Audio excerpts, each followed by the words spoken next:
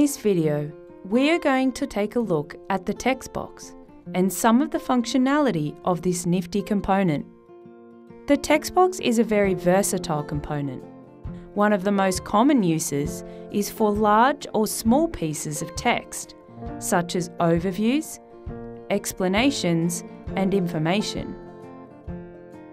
The text can be manipulated by changing the style,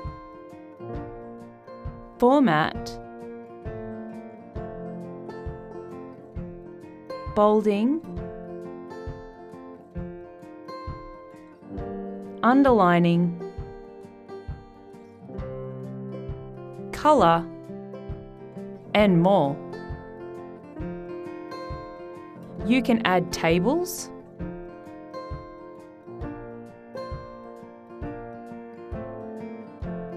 use dot points or numbers for lists,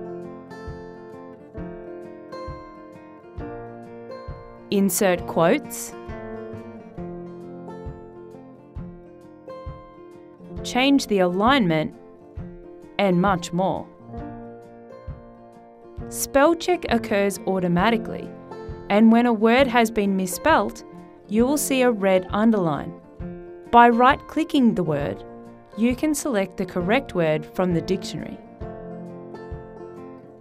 And for all the mathematicians out there, you can create simple or advanced mathematical problems. A tip for when using the text editor you have the option to expand the text editor space that you are working on for when you need a larger view of the area.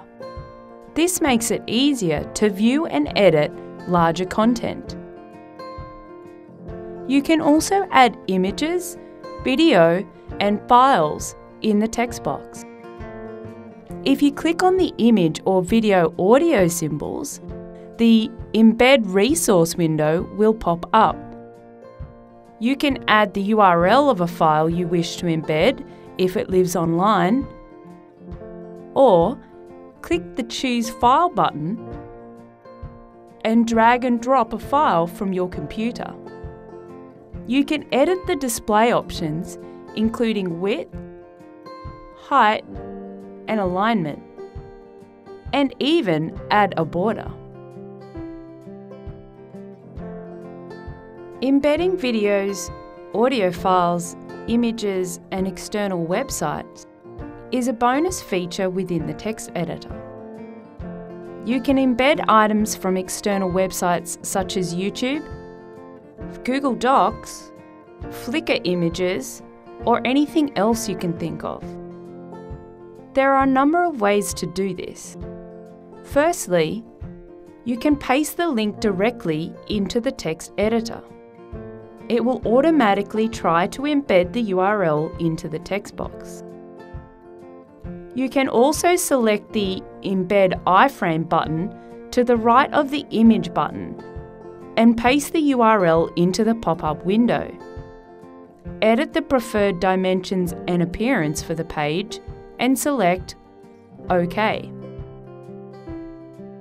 Here are some cool examples of how you can use embedding within the text box component.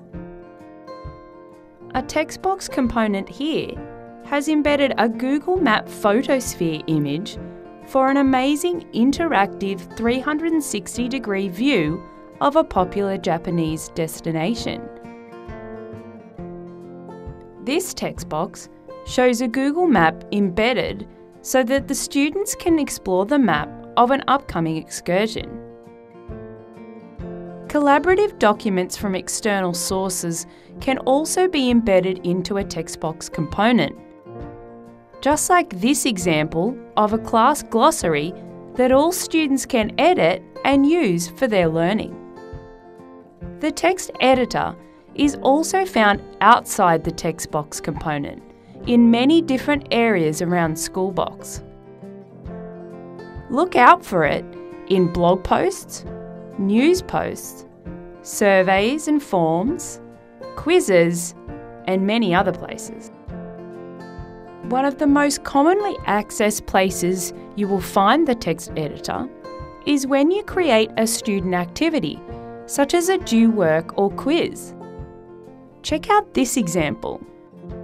This French quiz has a text editor with an embedded audio file and image for students to answer engaging questions without being directed to an external source.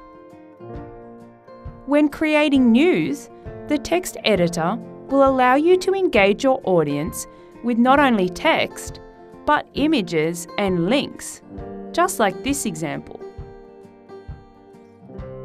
Video or images are handy when creating surveys to collaborate in groups about certain issues or make decisions.